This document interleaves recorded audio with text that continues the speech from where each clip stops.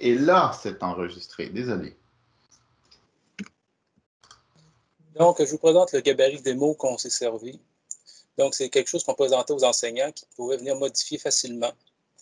Donc, à l'intérieur de, la première section, on a une introduction. Ici, on a choisi de mettre le, menu à droite qui va servir à la navigation. Et dans la partie introduction, ben, on présente le cours. Bienvenue dans le cours Gabarit Démo. Le nom du cours s'écrit par lui-même. On va prendre le, nom qui est dans la base de données avec Yvon, qui est l'enseignant, et le nom de, l'enseignant s'écrit par lui-même. On donne à l'élève des petits conseils, on lui donne des directives sur ce qu'il va devoir faire, et on lui donne un, lien vers les dates de vidéoconférence. Donc, ça, c'est des choses qui sont facilement modifiables. L'enseignant n'avait pas besoin de tout se taper cette mise en page-là, qui est relativement facile avec les outils qu'on a développés, mais il venait juste changer les éléments qu'il voulait à l'intérieur. Par la suite, l'enseignant arrive structurer son étape. Donc, encore une fois, on, il va présenter son étape à l'élève et on a structuré l'étape en cycle. Donc, à l'intérieur de ça ici, l'enseignant va venir lister les apprentissages qui vont être réalisés dans l'étape, donc dans, le cycle 1. Donc, l'élève va savoir qu'est-ce qu'il a à faire dans le cycle. Et on lui mettait des différents endroits où il pouvait venir mettre ses tâches. Les tâches, c'est des activités Moodle qui sont usuelles, soit des, devoirs, des, des, pages, des livres, des, onglets à venir consulter, des, quiz à faire, des, euh, wikis, un, peu, tout ça, qu'on vient proposer à l'élève et l'enseignant vient lister ces activités ici. Ceux qui sont habitués dans Moodle, si je vais au bas de la page complètement, vous remarquerez qu'il n'y a pas de liste d'activités. Donc, souvent, moi, j'avais ce qu'on appelait le scroll de la mort, qui était une longue liste interminable d'activités. On se sert du résumé de section. Autrement dit, dans un cours, il y a des sections. Et ça, c'est la section 1, où on vient organiser la présentation des activités comme on veut, en venant inscrire le nom de la, section, et ça va se lier automatiquement à, l'activité en tant que telle. Donc, ça permet de faire un design de cours qui est vraiment sur mesure là, à nos intentions pédagogiques. Ici, on avait des tâches proposées là, pour, euh, en quatre colonnes. L'enseignant pouvait venir supprimer une colonne comme il voulait pour venir faire sa mise en page de façon assez facile. Et il pouvait son étape de, de, cette façon-là. Donc, le gabarit se répétait d'une étape à l'autre. Et l'élève avait son portrait d'étape de façon rapide. L'enseignant pouvait venir le mettre à jour là, au fur et à mesure ou le faire de façon euh, euh, automatique au début de, l'étape. Par la suite, l'enseignant pouvait référer l'élève à des thématiques. Donc ici, on a différentes thématiques. Donc il y aura le thème 1, le thème 2, le thème 3, le thème 4 qui mènent à différentes activités. Ici, c'est un mode de présentation par image où on nomme le titre de la, thématique et où l'élève est, est dirigé automatiquement vers les activités qui sont proposées. Donc, ça aussi, l'enseignant venait juste remettre ses activités et, l'élève euh, pouvait voir les différentes thématiques et était référé par son enseignant vers ces, euh, ces thématiques-là. Les étapes 2 et 3 se répétaient et à la fin, on avait une révision de fin d'année. Donc, en, un coup d'œil, l'élève avait le portrait de son année. Il savait comment s'en aller. Puis pour commencer l'année, nous autres, ce qu'on se disait, c'est qu'un enseignant qui commence, là, on le voit aujourd'hui, les enseignants basculent en mode hybride. Il fallait que l'élève puisse être en classe ou à distance, que ce soit équivalent qui peut suivre le cours de la même façon. Donc, avec un gabarit comme ça, l'élève est en classe, il a son plan de cours, il arrive à la maison, il a le même plan de cours, la même interface que son enseignant a projeté au TNI, ou là, il voit sur son appareil à la maison. Donc, il peut continuer d'alterner de la présence à la distance facilement quand euh, son enseignant s'est structuré avec un gabarit de ce type-là. Donc, je repasse la parole, Dominique, si tu veux présenter ton gabarit. Excellent, excellent. Donc, euh, le contrôle. Moi, c'est un gabarit qui est plutôt pour. Ça fonctionne. Vous voyez mon écran maintenant. Parfait. Un, gabarit que je me suis mis à faire en me disant, en mettant dans la peau d'un prof du primaire, avec les outils qui étaient offerts là, au tout début. Je n'ai pas de, trucs aussi euh, techno que, dans le gabarit d'Étienne, mais il y a quelques idées intéressantes. Je me suis mis dans la peau donc d'un généraliste du primaire qui a plusieurs matières enseignées, mais le gros avantage que j'ai vu, puis ça c'est ma page de présentation aussi, là, il y a tout le temps une section zéro, puis moi aussi j'ai utilisé un petit peu les outils du nouvel éditeur HTML qui nous permet une certaine flexibilité avec euh, des images, etc. Puis, euh, moi aussi, par exemple, dans cette section-ci, il y a quelque chose qui s'appelle conseil supplémentaire, mais je ne les fais pas s'afficher en bas. Je peux les mettre à même mes trucs. Puis là, ben, quand j'y vais, mais là, je les vois, ces fameux conseils supplémentaires-là. Mais ce n'est pas non plus une page de papier de toilette, comme on dit souvent. Mettons que je m'en vais dans le plan de travail, parce que le gros avantage de ce gabarit-là, je, voulais que le prof il puisse à la fois offrir des contenus à ses élèves en chronologie, puis à la fois offrir des contenus en fonction des thématiques, en fonction de, l'ensemble des sujets qui sont à couvrir. Fait que le prof du primaire, je me suis dit qu'il voudrait une section plan de travail avec une page semaine 1, semaine 2, semaine 3, semaine 4. Puis là, ben, comme Étienne l'a mentionné tantôt, je n'ai qu'à nommer mes activités ici avec euh, un petit peu de code, mais vraiment pas beaucoup, le crochet-crochet, puis je donne le nom de l'activité tout simplement. Et j'évite de la faire s'afficher dans le bas. Ça me permet de contrôler sa mise en page ça peut demeurer quelque chose qui est un peu page papier de toilette ou ça pourrait être en plusieurs colonnes comme, euh, comme nous l'a montré Étienne tantôt. Mais, mais moi aussi, j'avais comme choisi de temps à autre de cacher l'espèce de liste traditionnelle des activités. Ou bien, semaine 2, c'est quelque chose d'ailleurs qui provient du site SNFab. On, pourrait, on pourrait afficher les trucs de façon différente un peu aussi en les cachant toujours.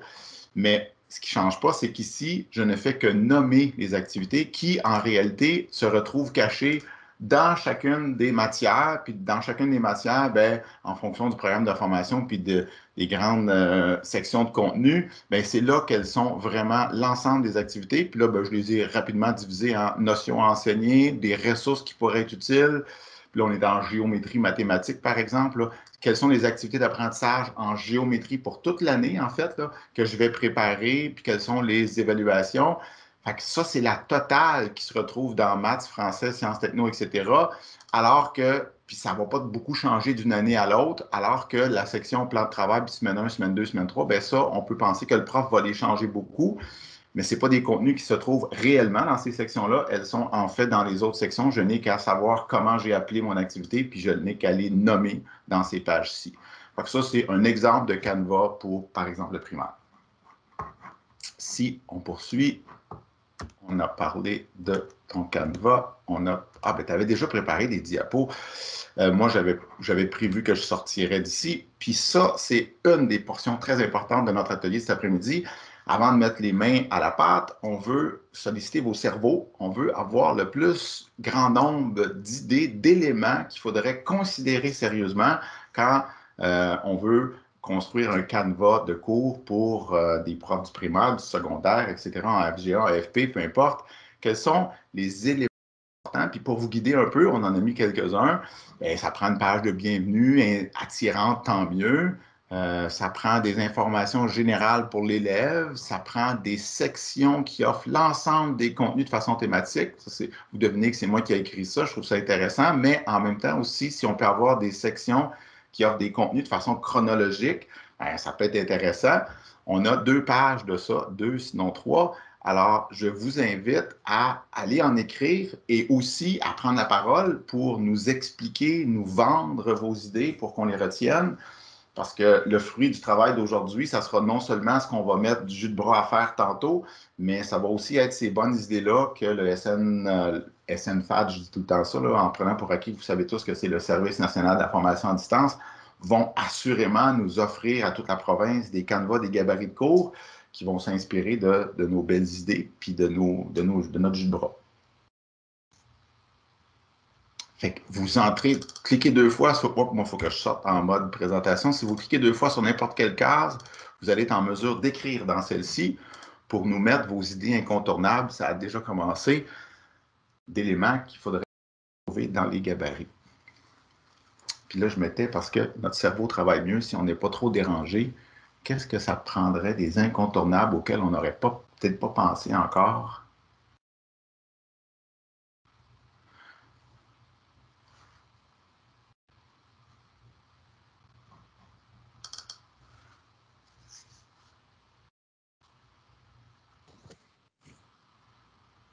Propose aussi, euh, Dominique, je lis page de bienvenue assurante avec contrat d'engagement, mais euh, peut-être de façon plus spécifique, on pourrait même développer qu'est-ce que la page devrait contenir pour la rendre attirante. Donc, on peut peut-être y aller là, euh, de façon libre, puis faire des amalgames par la suite. Oui, comme comment contacter son enseignant FGA, là, ça c'est une idée qui, qui t'a intégrée inévitablement à la page de bienvenue, là, tout à fait, ouais. Même qu'on pourrait l'écrire en parenthèse. Ça, devrait aller dans la page de bienvenue. Une section pour poser des questions. Excellent. Donc, ça, même, c'est intéressant, cette idée-là de le forum, parce que même si c'est un contenu en soi, c'est le genre d'affaires qui, si c'est un besoin très populaire, ben, c'est une bonne idée de le mettre d'entrée de jeu dans le gabarit avant même d'offrir le cours au prof pour l'inciter à utiliser cette activité-là. Que c'est pas juste des éléments de structure, ça peut même être un peu des contenus qui sont relativement universels qu'on devrait mettre dans un gabarit. Super bonne idée. J'aime beaucoup l'option visuelle, tout à fait. Ça, c'est ah, en tuile, OK. Euh, d'avoir des éléments sous forme de tuile, ben ça, c'est ça que l'éditeur HTML nous permet de faire. Avec beaucoup de labeur, je vous l'avouerai. Là, au début, on se dit tout, ça, ça va être super le fun. Ils vont, ça y prend deux secondes, ils cliquent, cliquent, cliquent, puis il fait des beaux visuels. Nous autres aussi. Et non, ça prend un certain temps avant d'apprendre toutes les, les petites finesses qu'ils vont connaître par cœur, mais il y a moyen de faire quelque chose d'intéressant. Puis surtout, si on offre quelque chose de déjà fait, puis qu'ils ont juste à modifier, ben c'est ça le principe d'un gabarit. Là, ça devient accessible à un plus grand nombre de profs. Ou aller pour le soutien technique. Ah, bonne idée. Ça aussi, ça aussi, ça pourrait faire partie de la page de bienvenue, Marc. Euh, bonne idée. Un cahier de laboratoire. Donc, il faudrait essayer de penser. C'est sûr qu'on a un cahier de traces qui est un, est outil en soi. Est-ce que c'est prévu déjà que le cahier de traces version laboratoire pour des cours de sciences euh, soit adapté? Peut-être. Le cahier de notes, en fait, c'est le cahier de traces, encore une fois, qui, que je pense qu'il devrait être utilisé pour ça.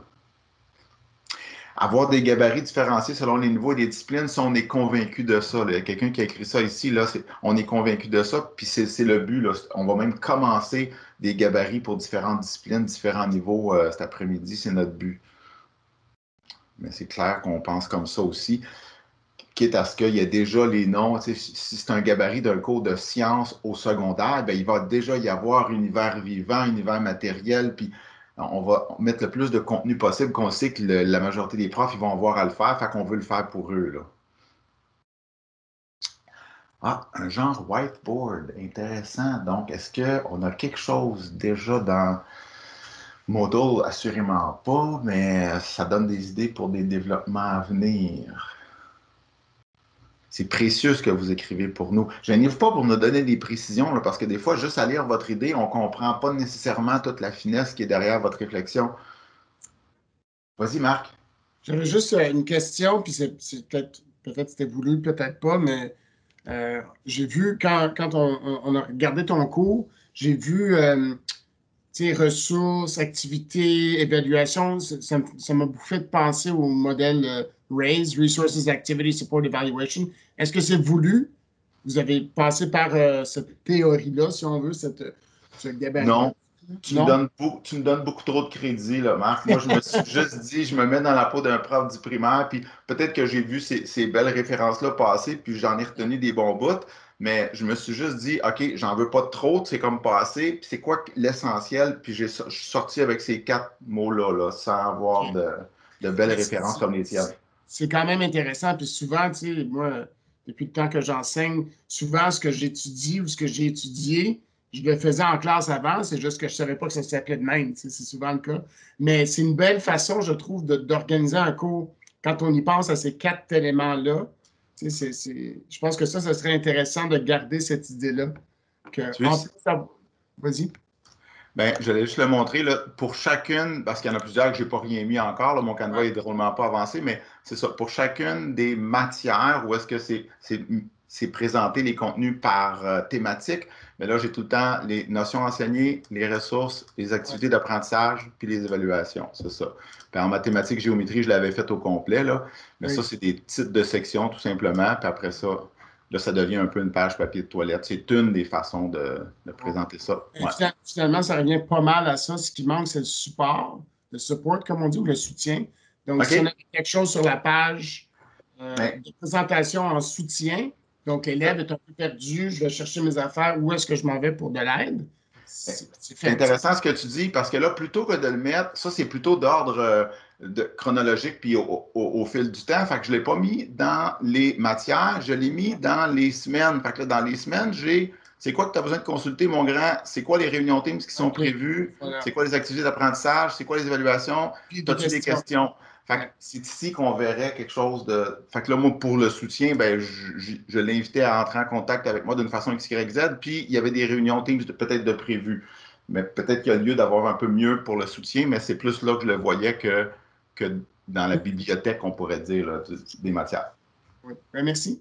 Ben, super intéressant comme intervention. Puis là, pendant ce temps-là, il y en a plein d'autres qui ont mis plein de super idées qui pourraient peut-être nous développer de vive voix.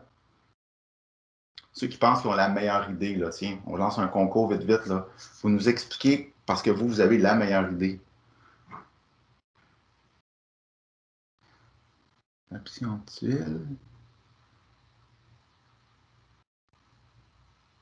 Ouais, ouais, c'est que ça, pour aller plus loin, c'est une excellente idée, ça. Tout à fait. Et ça, ça irait un peu comme ma réponse à Marc, le, pour aller plus loin, ça irait, mettons qu'on prend le, le, canevas dont je parlais, ça irait plus dans semaine 1, semaine 2, semaine 3 que, malgré que non, ça pourrait aussi être un endroit comme dans l'autre, tout à fait. Ouais. Section offre des contenus de façon chronologique, des sections travaux pratiques, raise, whiteboard, un glossaire, tout à fait. Travail collaboratif, information générale pour l'élève, ouais. Donc, Dominique, on a pas notre plan de match présentement pour euh, commencer à se mettre au travail, peut-être? C'est bon. Fait qu'on n'a pas eu besoin de deux pages. On a eu de super bonnes idées en moins grande quantité. C'est bien mieux que trop d'idées puis des moyennes. Comment ça va fonctionner les, mains, les mains à la pâte? Euh, tu y vas, Étienne, ou j'y vais? Un peu, il faut que je retourne mon écran. Là, je, partage encore mon écran. Et je vois que Stéphane nous écrit ça comme il faut, comme ça devrait l'être en bonne et due forme. Tu es bien gentil, Stéphane.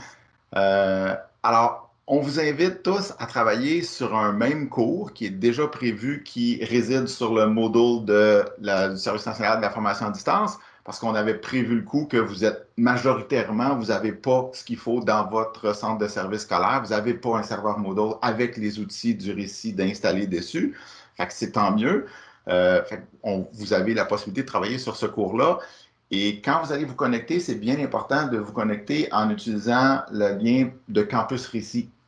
Euh, je ne peux pas simuler à l'écran, mais je pense que vous allez vous, vous en sortir facilement avec les multiples façons de se connecter, vous choisissez de vous connecter par Campus Récit, ça va vraiment être votre courriel qui va être connecté, puis vous allez avoir un droit d'écriture, vous allez avoir le rôle d'enseignant dans ce cours-là, mais ça va quand même vous prendre le gabarit 2020 qui est notre clé d'inscription, tout en minuscule, tout collé, gabarit 2020. Fait que même si vous vous connectez au serveur Moodle de SNFAD, pour rentrer dans le cours comme tel qui s'appelle Gabarit 2020, c'est la clé d'inscription Gabarit 2020.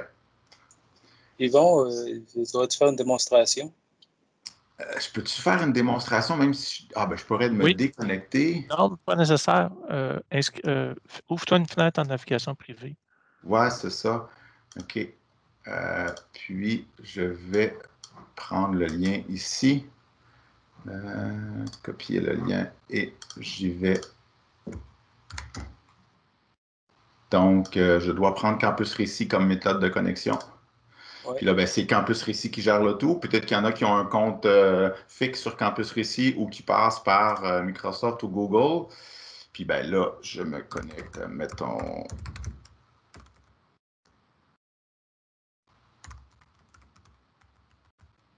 Je sais que vous êtes majoritairement déjà toutes là. Là, je vous fais une démo. Puis là, ben, je rentre dans le cours. Je ne suis pas encore inscrit dans le cours, mais j'ai accès au cours pour avoir le rôle de. Non, je suis déjà inscrit parce que, gars, j'ai déjà le rôle de prof. Parce que tantôt, j'étais déjà inscrit. Ouais, c'est ça. Ouais. les autres, vous allez arriver avec. Euh, on va vous demander de rentrer une clé d'inscription. Exact. Après, euh, Gabarit 2020. Gabarit 2020. Et normalement, vous allez rentrer dans le cours. Est-ce que vous pourriez nous signifier par un pouce en l'air ou par un petit doux dans le clavardage de Teams que vous êtes bien rentré et vous avez bien des droits d'écriture dans le cours Gabarit 2020? Dominique, je t'invite à retourner dans ta fenêtre euh, sur euh, le cours, puis on va aller dans les participants, on va voir tout le monde. Ben oui, on peut même le savoir avant qu'ils nous le disent, toi. Hein, c'est-tu pas magique? Ça, je suis pas sûr que c'est une page qui s'auto-rafraîchit, mais. Il faut l'actualise régulièrement. Ouais, c'est ça. On, a, on est supposé avoir 5, 6, 7, 8, 9, 10, 11, 12, 13, 14, 15, 16, 17 personnes à peu près. On va assurément attendre que vous soyez là. Puis activez votre micro tout de suite sans lever la main pour nous dire si ça ne va pas, là, qu'est-ce qui ne va pas. Oui, tout à fait. Parce que là, ça s'additionne, ça va bien.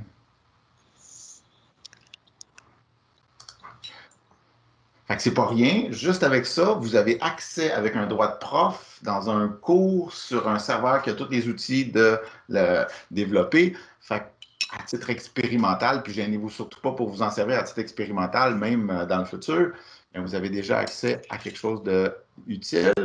Mais en plus, on vous donne ça, mais on vous demande de consacrer un certain nombre de minutes. Donc, ça va très bien à l'agenda. Là, on a du temps en masse.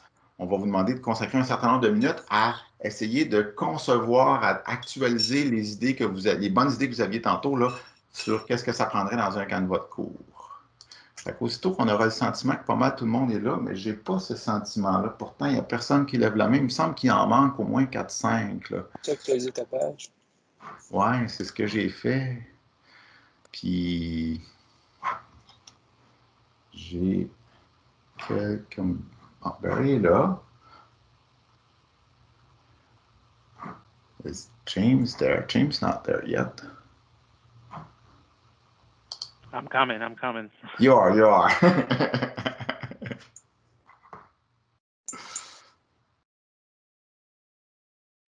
Oui, c'est ça, je comprends ça. Dans le fond, je viens de comprendre, comme Annie nous le précise, là, des fois, vous êtes appelé à faire deux, trois affaires, quatre affaires en même temps. Surtout ces temps-ci, c'est comme assez fréquent. Ça pourrait donc expliquer que sans lever la main, ben, vous n'avez pas eu encore le temps de vous connecter. Hey James, you are there. Euh, ça va rondement. Si je reviens à la racine du cours, qui est ceci, puis d'ailleurs, vous allez retrouver notre diaporama euh, à même la page de présentation du cours. Euh, parce que Étienne a fait de la magie puis il a fait euh, s'afficher à cet endroit-là tantôt. Mais vous allez surtout retrouver un certain nombre de sections qui correspondent à autant de canevas et de cours qu'on aurait l'intention de produire, ou en fait, prenons-le autrement, c'est autant de cours qu'on veut que le Service national de la formation à distance produise pour tous les profs du Québec. Puis là, nous, on pourrait commencer à mettre la main à la pâte pour euh, les aider à faire ça. Puis Là, à la différence d'un vrai cours, on ne vous a pas préparé un cours, ça aurait été ça dans un monde idéal, on aurait fait un cours juste pour le gabarit du primaire, puis un cours pour le gabarit du français au secondaire, puis un cours pour le gabarit de maths au secondaire, et ainsi de suite. Puis on a bien pensé à FGA et à LFP, euh, mais, mais bon, pas un cours en FP pour chacune des, disciplines ou des matières. Mais bref, euh, on va tous se partager ça dans un même cours, fait qu'on aura chacun une section. Ça, ça va amener un problème par exemple, si tu veux travailler sur le gabarit de cours pour le primaire, ben, normalement, tu aimerais ça avoir comme moi tantôt, ça c'est mon gabarit de cours, tu aimerais ça avoir l'attitude d'avoir deux niveaux. Là, ça ne sera pas possible parce qu'on se partage tous, oups, on se partage tous un même cours. c'est quand même pas grave, comme semaine 1, semaine 2. Mais Dominique, c'est pour commencer que si les gens avancent, ils veulent avoir un cours, on leur fait leur propre cours pour leur, euh, exact. Euh, leurs travaux. Là. C'est ça, mais pour aujourd'hui. De, de, fonctionner aujourd'hui. Même niveau, on comprend que quand, vous, quand on mettrait le gabarit dans un vrai cours, ben, mathématiques serait au premier niveau, puis arithmétique, géométrie, mesure, statistique serait au deuxième niveau, probabilité. Puis le français serait tout seul au premier niveau, puis écrire les, ça serait au deuxième, ainsi de suite. Fait ça, c'est une des limites qu'on a, mais euh, pour faciliter la tâche, qu'on travaille tous rapidement, pour que la mécanique soit la moins longue possible. Dans le fond, là, ce qu'il nous reste à faire, c'est de se partager, se partager ben, dans quelle sorte de gabarit ça me tenterait de travailler pour les prochaines 30 euh, minutes, facile, même plus que 30 minutes. Yvon, Étienne et moi, on va se promener d'une breakout room à l'autre euh, parce qu'on a prévu plusieurs euh, petite réunion Teams pour que vous soyez juste deux, trois, quatre à vous parler, puis à vous jaser, puis à essayer de co-construire. OK, moi, je le ferais de même, je mettrais des noms de sections comme ça, puis dans chacune des sections, je ferais ceci, je ferais cela. Euh, et là, ça serait le temps de mettre vos noms, comme Toby et Marc ont déjà compris bien avant que je sois rendu à la deuxième phrase. Je fais une proposition, Dominique, je ne change pas Oui. notre plan de match, mais il y a des gens qui n'ont pas travaillé avec nos outils ou qui ne les connaissent pas. C'est vrai? Euh, moi, j'en enverrai travailler ceux qui sont prêts, qui ont, qui ont déjà une base avec nos outils, qui commencent à travailler, mais ceux qui ne connaissent pas nos outils, on pourrait leur faire une présentation Super. dans la demi-heure.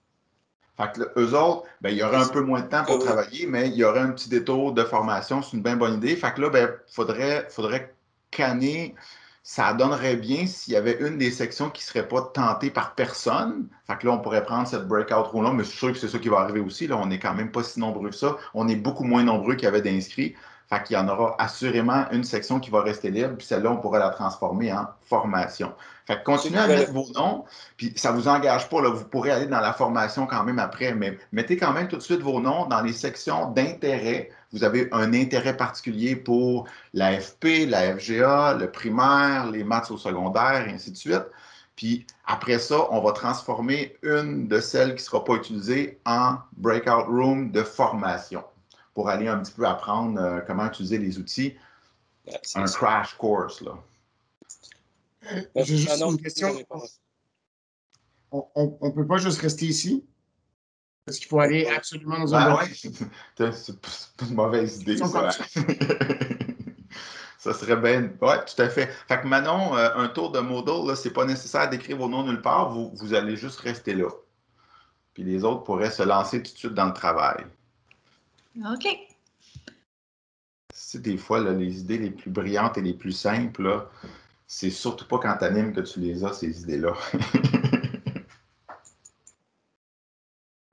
Je pensais tout de suite à un besoin de breakout room, c'est même pas nécessaire. OK. Fait que là, on en a qui se sont mouillés parce qu'ils sont sûrs que, ben oui, Annick, euh, elle va travailler pour un canevas FGA, c'est clair, etc. Puis il y en a d'autres qui sont peut-être plus des CP généralistes, qui ne parlent pas plus un que l'autre, là, je vous comprends.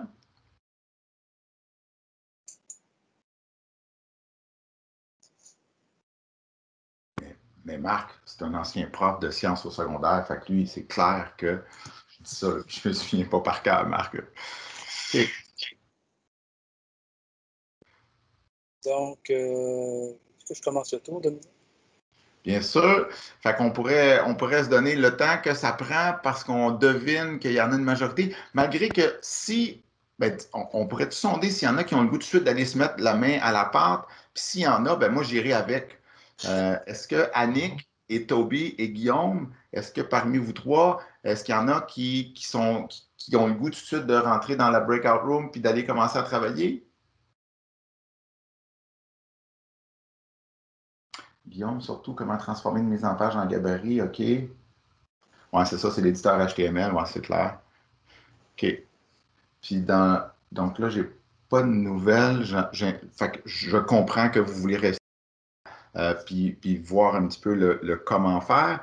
Est-ce que c'est la même chose pour Philippe, puis Patrick, puis James? Est-ce que il y en a parmi vous qui ont le goût de tout de suite se lancer? Fait que moi, j'irai avec vous, puis on, saute le cours. Ben, euh, j'ai une idée, moi, qui me passe à l'esprit. là. Euh, on se dirige vers trois salles, selon les noms qu'on a là. Puis on est trois animateurs capables de modéliser quelque chose dans chacune des salles. Est-ce qu'on, dans le fond, est-ce qu'on le fait pour tout le monde? Est-ce qu'on le fait de façon contextualisée?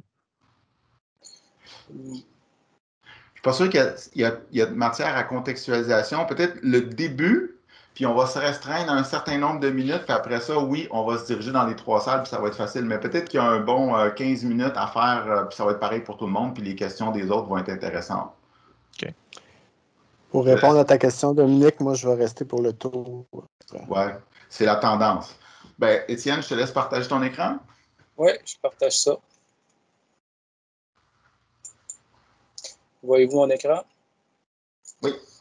Donc, euh, ce que je vous présentais, je ne vous présenterai pas Moodle au complet. euh, ça serait très vaste et très long et très fastidieux. Je vais vous présenter ce qu'on a développé au, au SNFAT pour euh, rendre Moodle plus convivial. Donc, Moodle, c'est un, un outil qui permet, de, comme je disais tantôt, de présenter des cours, présenter des contenus aux élèves. Donc, on a développé une nouvelle interface qui permet de. Ce que les gens nous disaient, c'est que Moodle, c'était laid. Donc, qui permet de rendre Moodle avec un look beaucoup plus actuel. On s'est centré aussi pour avoir des outils beaucoup plus accessibles, pour euh, euh, que ce soit plus efficace là, de- pour la conception de contenu de, de cours, des contenus d'apprentissage. Si on fait le tour euh, en haut à, gauche, à côté du logo du récit où c'est écrit ENA, vous avez la petite maison qui vous ramène à la page d'accueil du, cours. Vous avez la roue d'engrenage qui vous permet d'accéder aux différents paramètres du cours. Vous avez le petit crayon qui vous permet d'activer le mode édition. Euh, chose intéressante, si vous avez travaillé dans Moodle, le petit crayon, souvent, on alterne entre le mode édition et le mode normal pour voir le, rendu qu'on veut avoir. Donc, on a développé une fonction clavier qui est contrôle alterné E, qui permet de passer du mode normal au mode édition et du mode édition au mode normal facilement. Donc, ça a l'air de rien, mais si vous montez un cours, vous pouvez sauver une demi-heure d'ouvrage par jour euh, en utilisant cette fonction de clavier-là. Euh, on a ensuite un lien direct vers euh, les utilisateurs pour voir les, différents participants à notre cours. Si je le mode édition, donc là, vous voyez l'interface change. J'arrive avec une interface qui, dit qu'il va me permettre de modifier le cours en tant que tel. Quand je suis dans la section menu, j'ai une présentation ici, j'ai la liste de mes sections ici. Donc, tantôt, Dominique vous a parlé de la section primaire, la section, euh, si je descends plus bas, secondaire, mathématiques secondaires, sciences secondaires et ainsi de suite. Donc, c'est ici qu'on va gérer les sections. L'ordre des sections et le niveau des sections. Nos sections peuvent se présenter de différentes façons, soit par onglet ou par image, et être de niveau 1 au niveau 2. Donc, euh, tantôt, vous avez vu, Dominique vous a montré des onglets qui nous amenaient à des sous-onglets. Donc, l'onglet de niveau 1, c'est lui qui est en haut. L'onglet de niveau 2, c'est celui-là qui se décline sous euh, l'onglet de niveau 1. Tantôt, dans mon cours que je vous ai montré dans mon gabarit, la, vue en image, c'est celle-là ici, où j'ai une image qui représente ma section et où j'ai un, résumé qui me, permet d'avoir accès à mes différentes activités. Donc, c'est euh, ce qui permet de, voir c'est quoi un onglet et c'est quoi une section. Le contenu des activités n'apparaît pas ici parce que si vous avez déjà travaillé avec Moodle, souvent on a des, une longue série d'activités plus un résumé de section qui fait que si je veux déplacer d'une section d'un endroit à l'autre, il fallait que je scrolle très très longtemps. Donc si j'ai juste le titre de section, ce qui me permet de déplacer la semaine 2 à la semaine 1 sans traîner tout euh, le, le stock dans la section. Si je vais dans mes sections, donc j'ai la section présentation ici, où je peux mettre des contenus à l'intérieur. Donc, j'ai l'activité annonce qui n'apparaît pas, qu'il faudrait que je mette en lien dans mon activité. Et moi, j'ai choisi d'intégrer une présentation euh, Google, un Google, Google euh, présentation dans ma page, un Google Slide, c'est ça que je cherche. Donc, c'est comme ça qu'on va fonctionner. Pour modifier la section, je vais cliquer sur le bouton ici. Et ici, j'ai la barre vous connaissez de Moodle, qui est la barre à taux qui peut faire une différente mise en page.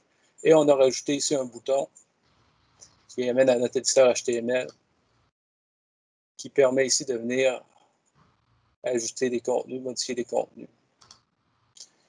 Si je vous explique comment ça marche, à gauche, vous avez l'arborescence qui va être la liste des différents contenus qui sont sous forme d'objets que vous allez mettre dans la page.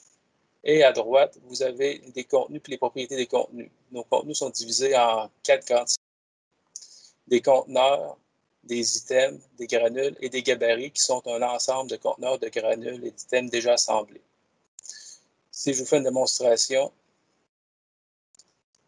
euh, je vais ajouter un conteneur euh, à trois conteneurs.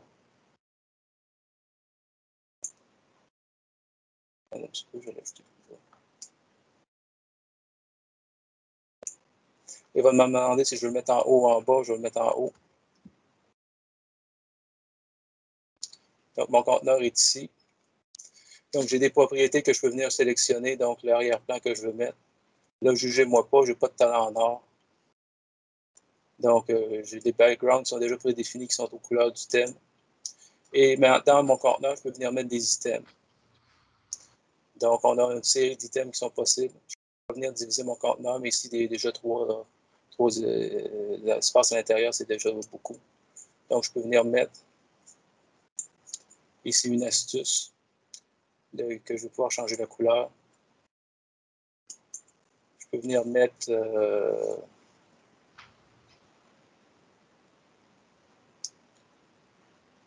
les cartes pivotantes, une carte pivotante.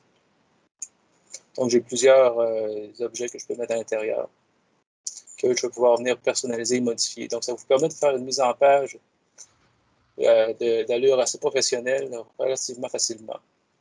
Je vais mettre une carte avec un à côté. Et de cette façon-là, vous pouvez venir euh, ajouter des contenus là, à votre page. Et vous avez un visuel qui ressemble à ce que Google Site peut vous produire. Là, et ça, c'est dans Moodle. Si vous voulez venir changer de texte, la fonction pour accéder au texte est CTRL-clic. Et je viens sélectionner mon texte et je peux réécrire dedans et le remplacer. Si vous copiez du texte à partir de Word ou d'un autre document pour le Shift V qui va effacer la mise en page du texte. Comme ça, vous n'aurez pas de, mauvaise surprise. Vous allez juste avoir le texte brut qui va venir remplacer votre contenu. Donc, c'est le fonctionnement de l'éditeur pour l'instant. Supposons que je veux changer des Souvent, on va venir cliquer dans la page. il faut qu'on enlève cette fonction-là. Pour supprimer, ça va, mais pour avoir accès aux propriétés de l'objet en tant que tel, il faut que j'aille dans l'arborescence qui est à gauche. Donc, euh, supposons ma carte avec avatar. Je veux venir changer l'image qui est ici, mais je vais venir mettre l'adresse de l'image ici. Si je veux, dans mon euh, astuce, ou si je prends mon icône qui est ici dans l'astuce, je vais venir le changer. Donc, on a développé une série d'icônes qu'on peut euh, venir euh, changer, modifier la taille et qui va nous permettre de faire une mise en page relativement agréable, facilement. Donc, j'enregistre ça et mon cours est changé.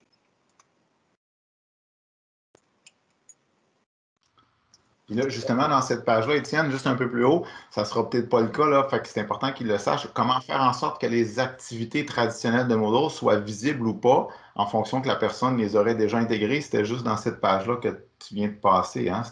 Oui, tout à fait. Dans modifier la section, là, ouais.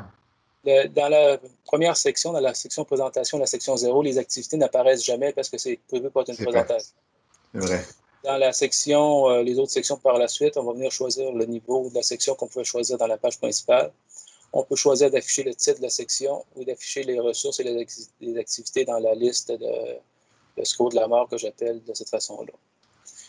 Si vous choisissez le mode image, ben ici, vous venez mettre l'adresse de votre image, puis vous venez mettre la description que vous voulez qui apparaisse en dessous de l'image. Donc, ça vous permet de, de, gérer ici les différentes activités de, la section. Donc, si je vais annuler. En quelques minutes, si je vous montre d'autres paramètres, on a vu certains paramètres d'affichage qu'on a vu tout à l'heure. On va aller dans la roue d'engrenage, dans les paramètres, et vous allez pouvoir choisir le type de menu que vous voulez dans votre cours. Donc, vous allez dans le format de cours, c'est le format ici, le arborescence de section. Le format qui vient par euh, défaut, c'est le format à deux niveaux, comme Dominique vous a montré tout à l'heure. Moi, j'ai le format vertical où le menu est à droite de façon verticale. Et si je choisis le horizontal un niveau, je vais vous montrer ce que ça fait. Je vais quitter le mode édition. Donc, j'ai un, format qui va me faire apparaître mais euh, différentes sous-sections sous forme de, de menus déroulant sous le, le, le, titre principal. Autre chose, dans notre format de cours, supposons que vous voulez que vos élèves s'engagent dans l'apprentissage, on a ce qu'on appelle, dans le paramètre du cours, ce qu'on appelle le contrat d'engagement. Donc, je vais aller dans mon format de cours vous choisissez d'utiliser le contrôle d'engagement, d'utiliser la navigation par section qui va faire afficher des boutons en bas de la page qui vont permettre de passer d'une section à l'autre. Et si j'enregistre tout ça, normalement, quand je me présenterai dans le cours pour la première fois, là, vu que je suis déjà euh, dans le cours, ça ne paraît pas. La première page que je verrai, c'est un texte avec un accepté et signé. Le texte est un contrat d'engagement pour l'élève. Ça bloque le contenu du cours tant que l'élève n'a pas signé le contrat d'engagement. Donc, nous autres, c'est ce que des enseignants nous avaient demandé. Ils voulaient avoir un engagement formel de l'élève. Donc, avec cette fonction-là, ça vous permet d'avoir accès au, euh, au contrat d'engagement. La navigation que je vous parlais tout à l'heure, mais elle apparaît. Ah, le contrat là finalement. Donc, le texte ici. Comment je fais pour avoir accès au texte du contrat d'engagement? C'est la section 0 qui permet de l'avoir. Donc, si j'active mon mode édition, Là, tout ce que je vous dis là, je vois quand même assez vite, mais c'est tout documenté dans la documentation euh, euh, qu'on a produit pour ça. Donc, si je vais modifier la section 0, en bas, voyons, j'ai le contrat d'engagement, je viendrai mettre mon texte ici du contrat d'engagement que je peux mettre en forme, là, comme euh, avec l'outil d'édition, comme je vous ai montré tout à l'heure. Donc, j'écris n'importe quoi. C'est pas un très grand engagement. Et quand je quitte mon mode édition,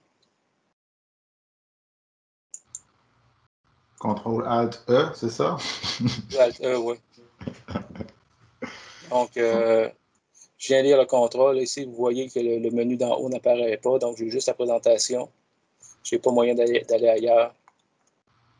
Quand je signe le contrat, je comprends, j'accepte les termes du contrat. Eh bien, le menu apparaît, je peux naviguer à travers mon cours. Je ne sais pas si vous, si vous voulez en avoir plus pour l'instant. Je trouve que ça fait déjà beaucoup un peu de temps. Moi, je vous laisserai aller explorer les différentes activités qui sont là. Puis, euh, si vous avez besoin de plus, on ira plus loin par la suite. Petite question, Étienne. Oui. Euh, Patrick en FP, si, euh, si, nos cours sont déjà montés dans un format X dans Moodle, pour les transférer à ce format-là avec les outils que vous avez, c'est-tu euh, relativement facile et rapide? Euh, je te dirais, euh, ça dépend comment tes cours sont montés. C'est pas de voir à la pièce. Il y en a que ça peut être très long. C'est bon. On s'en parle. Bon. Très rapide. En fait, moi, je veux te rassurer, Patrick, c'est que par défaut, toutes tes sections vont afficher tes pages papier de toilette et tes activités les unes entre les autres. Fait que par défaut, même si tu mettais ton cours sur un serveur qui a tous les outils Moodle, etc., tout ton cours va encore tout super bien fonctionner. Ce qui peut être long, c'est si tu te mets à vouloir profiter à 100% dans chaque section de la nouvelle possibilité. Mais ça, tu n'es pas obligé d'entrer de jeu. Là. c'est ça qui est le fun. Ça peut se faire quand même assez rondement. Puis par défaut, il n'y a rien qui est cassé comme tel de ton ancien cours. Là. Je n'avais pas vraiment de crainte au niveau que ça soit cassé. C'était plus parce qu'on a monté des canevas, nous autres aussi, pour accélérer le processus au cas où qu'on tombe en deuxième vague pour nos profs de FP. Fait qu'on a déjà installé ça. Fait qu'eux, ils ont juste à rentrer leur contenu, mais j'aimerais ça leur faire bénéficier des nouvelles fonctionnalités. Mais merci euh, des réponses. Mais euh, Patrick, oui? déjà des, des canevas de montée, on pourrait s'arranger pour qu'on les mette dans l'outil d'édition. OK, on s'en parle. Je ne voulais pas vous retarder, c'était juste pour. Euh, c'est bon. Mais, mais, moi, je trouve que le bout que tu nous as montré, Étienne, comme tu as dit, c'est déjà beaucoup. Puis la meilleure façon d'apprendre, c'est de faire. Puis vous n'avez peut-être pas la chance tout le temps de faire à gauche et à droite sur des serveurs qui ont déjà tout, ça d'installer. Fait que je nous propose, il nous reste une belle demi-heure, je nous propose un bon 20 minutes d'aller dans chacune des trois salles, dans chacune des trois breakout rooms. Puis Yvon, Étienne et moi, on va donc être dans chacune des trois salles pour vous accompagner. Puis gênez-vous pas pour euh, vous mettre à chambouler tout ce qui s'y trouve. Puis le plus de traces que vous nous laisserez possible euh, en lien avec un début de gabarit, le mieux ça sera. Puis après ça, on se parle d'un éventuel agenda d'ici Noël. Fait que là, ben. Ouais, ça serait le moment d'aller dans soit le canevas FGA, soit le canevas FP, soit le canevas sciences au secondaire. C'est juste une question d'être dans trois salles différentes pour avoir de l'aide avec un petit peu moins de monde. Fait que là, ça va être plus efficace pour vous. Puis nous trois, on va rester, ils vont, on va se partager les trois, puis on va aller d'un bar ou de l'autre. Fait que ça ferait trois petits sous-groupes où vous allez pouvoir continuer à nous demander des conseils de comment ça marche. Vous allez pouvoir toutes les trois travailler dans la même section, mais chacun sur votre ordi. Chacun d'entre vous, vous allez faire, là, possiblement. Fait que je pense que c'est ce qui va être le plus profitable pour vous et pour nous. Bon, ben moi, je m'en vais en FP. Tu t'en vas en FP, toi, Étienne, c'est réglé. Yvon, je te laisse le choix. Ah, c'est comme tu aimes. Euh, aussi, euh, ce qu'on disait, euh, comme ce n'est pas une formation, ce n'est pas non plus le but de le faire, le cabaret, ça peut être une occasion de faire un croquis, sortir les idées là, pour la suite des choses. Tout à fait. Gênez-vous surtout pas, même à la limite, si vous voulez beaucoup nous donner d'idées puis pas beaucoup mettre la, main à la pâte. Vous pourriez même ajouter une diapositive dans notre diaporama, puis tout vous schématiser comment vous metteriez votre canevas. Ça devrait d'ailleurs être une étape préalable. On devrait plutôt faire ça avant de se mettre la main dans la pâte, là, mais bon.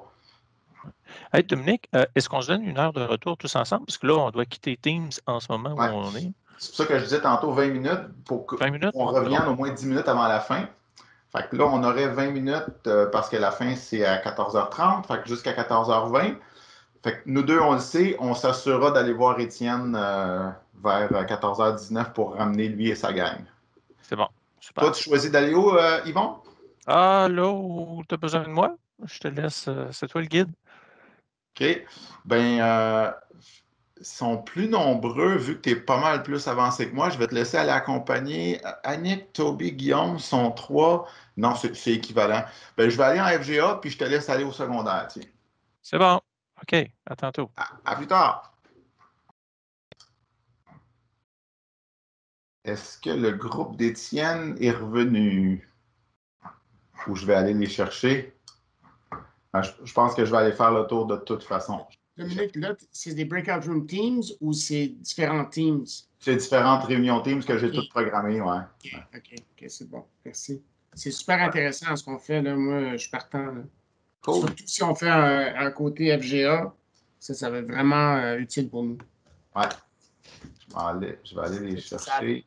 Ils sont dans sciences secondaires. Ils sont dans FP.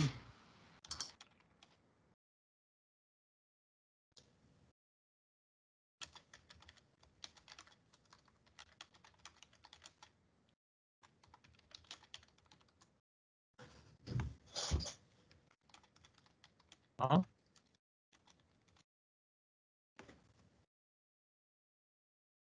Je tape avec mon micro, là, c'est pas drôle.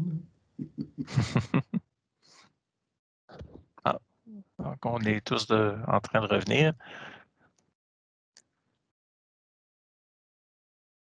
This is, uh, this is some je parle juste avec Avi, uh, Yvon. this is some Mhm. interesting things, Avi, because what what we were working on was trying to create a sort of um, a template, right, for Moodle using the HTML HTML editor, so that there, it'd be a lot more visually driven than it is now, where it's you know more of a menu, sort of a pull that they call it. I love that too. They call it. Um, Qu'est-ce que vous avez dit là? Le menu papier toilette là, ou la page papier toilette. That. C'est vraiment drôle. d'auteur là-dessus, moi, page papier toilette. Ok, je vais le dire. À chaque fois que je le dis, Dominique, je vais dire c'est toi qui l'as dit.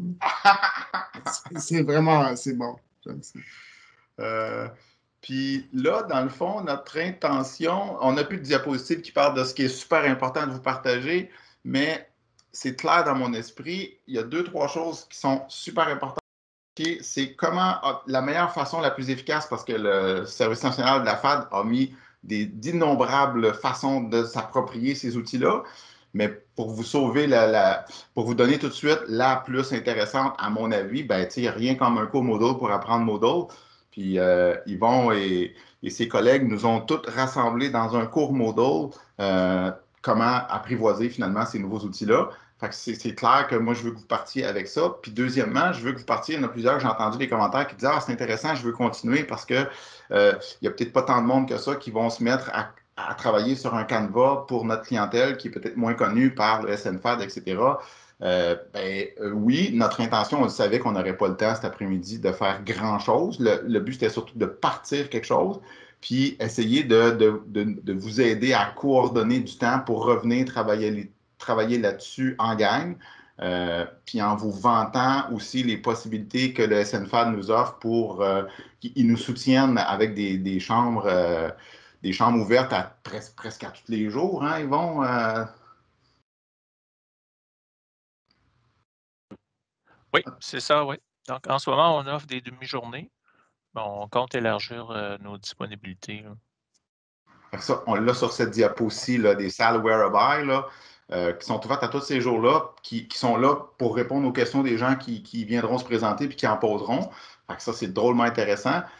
Fait que si vous avez le goût de poursuivre votre travail dans votre canevas, que vous avez peut-être eu le temps de commencer, peut-être pas tant, peut-être que vous allez revenir à du papier d'abord pour tout structurer ça, mais il y a déjà des bonnes idées qui sont sorties, puis je les ai rajoutées au diaporama. ben, euh, on vous encourage fortement à vous réunir puis à poursuivre le travail, à solliciter l'aide du SNFAD. C'est pas un devoir à, tout le monde, c'est pas un devoir officiel, c'est pas un chantier non plus, c'est pas aussi officiel qu'un chantier, même si ça a l'air un peu de ça. Mais le SNFAD voudrait à Noël essayer de prendre ce qui a été comme proposé par la communauté puis se mettre à juste mettre la, la touche finale à ça puis l'offrir à toute la province. Fait que ça serait intéressant s'il y avait un canevas de débuter pour chacune des matières, chacune des disciplines, chacune des clientèles. Est-ce que, est-ce- ah, puis je ah, imagine, il n'est pas encore revenu, notre ami Étienne, avec sa gang de 3-4 profs. Oui, on est là. Ah ah! OK, ils sont en bas, OK. Ils sont discrets. Euh, euh, quand Est-ce qu'on fait, un, est-ce qu'on fait un bilan? Je sais qu'il nous reste juste trois minutes. là. Est-ce que vous voulez qu'on se fasse un mini bilan là, de résumé parce qu'on était chacun de notre bord? Ou... Ben, de un, Yvon, peux-tu nous partager dans le clavardage l'adresse du cours qui est la ressource numéro un pour s'approprier ces outils-là? Donc, le fameux cours Moodle ID2, là. En fait, tu pourrais même le sortir. Ouais, ben, il est dans la présentation euh, au début, je pense. Un peu que je le trouve. Il est Il est- ici il est- égal 2. Oh, oui, je le cherche dans notre euh, Google Site. Je pense que je partagé. viens, je pense que je viens de réussir à l'envoyer. Ah. Ouais, c'est ça. Il me dit que j'ai pas le droit de modifier, mais je rentre dans le cours. C'est bon. Fait que le lien que je vous ai partagé, c'est la référence la plus intéressante, je pense, pour vous approprier ces outils-là. Puis, si vous ne vous souvenez pas de vos noms dans les petites sous-équipes, ben, elles sont dans notre diaporama. Euh, comment officialiser le tout puis favoriser que ça se passe vraiment des rencontres? Euh, bonne question. Des rencontres de poursuite. Est-ce qu'on se fait des, euh, des doodles? moi, je, je peux me charger de lancer des doodles avec les noms des gens qui sont là, puis vous ne vous sentez pas, pas de pression plus qu'il faut pour essayer de faire une ou deux rencontres entre lesquelles vous pourriez avoir la responsabilité de vous approprier ça un petit peu. Puis pendant les rencontres, ça serait plus des moments où vous co-construisez vraiment les canevas, dans le fond. Vous mettez la main à la part, puis ah, moi j'ai pensé à ça, on devrait mettre ça, etc. C'est clair qu'ils vont, comme on l'a dit tantôt, il peut nous faire un cours pour chacun des canevas au lieu qu'on soit poignés tous dans le même cours, puis pas avoir deux niveaux de menu. On pourra avoir chacun notre cours comme tel qu'on va bâtir en ayant en tête qu'on est en train de faire un canevas pour cette clientèle-là ou cette matière-là. Euh, moi, je posais la question qui qui a de l'intérêt à embarquer dans cette démarche de co-construction-là? Si vous n'en avez pas, il n'y a pas de problème. C'est euh, avec le pouce levé. Qui, qui, qui est. Ou un mois dans le clavardage. Ouais. Fait qu'on a recueilli pas mal de volontaires. C'est déjà vraiment pas rien. Fait que dans le fond, on va rentrer en contact avec tous les mois. Ouais. Puis on va, on va vous permettre de vous prononcer à savoir lequel des canevas vous voulez travailler dedans, puis on va vous proposer des dates. Oui, Guillaume, tu as une question? Euh, oui, dans le fond, euh, je me demandais s'il était possible euh, d'avoir accès, pas, pas nécessairement en droit d'écriture, mais vraiment, mettons, comme élève, à plusieurs cours sur la plateforme, parce que, mettons, des fois, pour s'inspirer un petit peu, parce que, mettons, moi, des fois, je cherche des idées de structure, puis là, je me, là, je, je me rappelais qu'il y avait un cours d'histoire vraiment cool, mais là, je ne peux plus aller le voir, le cours d'histoire. Ou... Je ne sais pas si vous avez une façon pour nous, là, dans la mesure qu'on veut peut-être s'impliquer pour les gabarits, pour aller s'inspirer un peu là, de, de certains autres cours. Là. Oui. On va mettre, moi je propose, là, vu que les choses sont déjà placées dans la diapo 17, que j'ajoute, même si ça tombe dans l'image, là, je vais marquer des idées. OK? C'est les cours qu'on distribue. Il y a ceux du récit et ceux de la CSSBE. Mhm. On vous donnera des droits d'accès pour aller voir qu'est-ce qu'il y a dedans. Ben, c'est visiteur, Étienne. Ah, il y a- déjà visiteur, donc c'est vrai. Dans le fond, le- la rubrique là, qui euh, permet aux profs de consulter les euh, contrôle C. Donc, diapo 17, euh, je suis en train de vous. Oups! Voyons. 17. euh, Donc, vous avez idée, vous allez avoir dans. Quand je vais réussir à rentrer dedans. Voyons. Ça, c'est Ah. dans je pense. Oui, c'est ça. Bon, en. Désolé. Moi, en passant, ça a été ma façon de m'approprier les outils de SNFAD en me disant, ben là, moi, je ne suis pas pour monter un cours, je suis pas un prof, je suis un conseiller pédagogique. Fait que j'ai tout de suite, avec ma posture de conseiller pédagogique, je me suis dit, l'affaire que je vais faire pour me pratiquer, parce que tant qu'on ne fait pas, on ne comprend pas aussi bien, je me suis dit, je vais faire un canevas de cours. C'est comme ça que j'ai appris. Fait que, je suis persuadé que vous partagez mon, pas mon intention, mais mon espèce de besoin que j'avais. Puis c'est une excellente façon d'apprendre la base et d'être en mesure d'aider vos profs qu'en ayant fait vous aussi un peu. Puis l'affaire que vous pouvez faire qui va être le plus utile, c'est un canevas de cours. Puis si vous voulez, aussitôt que vous aurez un serveur Moodle, vous pourrez le transporter facilement, le travail fait sur SNFAD, le transporter chez vous ou vice-versa. S'il y en a qui ont déjà un serveur chez eux, vous pouvez continuer à travailler chez vous. Puis à un moment donné, vous allez envoyer le fichier à Étienne ou à Yvon, puis ils vont, ils vont pouvoir l'héberger provincialement. Euh, détail, une petite position que j'aimerais amener. Quand on fait les différentes manipulations, je pense à l'éditeur de contenu, ça a l'air facile quand on le fait. Mais ça prend quand même un certain temps d'appropriation. Oui, oui, oui, tout à fait. Bref, euh, on est, on est déjà trois minutes. On est déjà trois minutes en retard, je ne vais pas vous retarder. Il y a une super activité qui s'en vient dans, dans 12 minutes maintenant. Je vous remercie beaucoup. Je vais assurément recommuniquer avec vous. J'ai eu l'idée folle de partir de cet atelier-là, fait que je vais faire le suivi nécessaire en vous interpellant, mais sentez pas trop de pression. Puis je vais organiser les doodles euh, pour que vous puissiez effectuer un choix et euh, manifester des disponibilités pour favoriser les rencontres entre les petits sous-comités. Super. Merci beaucoup, Étienne. Merci beaucoup, Yvon. Merci à toi, Dominique. Merci, groupe. Je suis persuadé qu'on va pouvoir aider le SNFAD à nous proposer provincialement des canevas super extraordinaires pour Noël. Et vos comptes restent ouverts sur le serveur du SNFAD. on ne les fermera pas avant un bon bout de temps. Merci beaucoup. Merci, Patrick. Merci beaucoup. Hein. Super intéressant.